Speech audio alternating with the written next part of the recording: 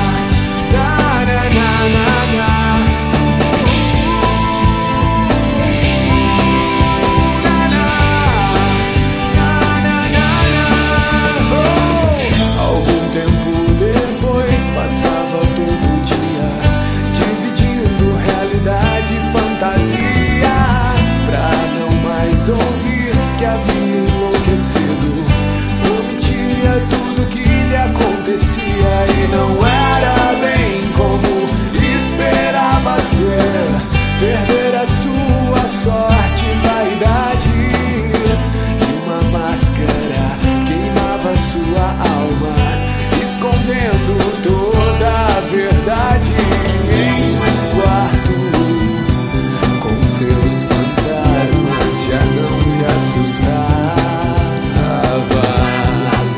pois sabia.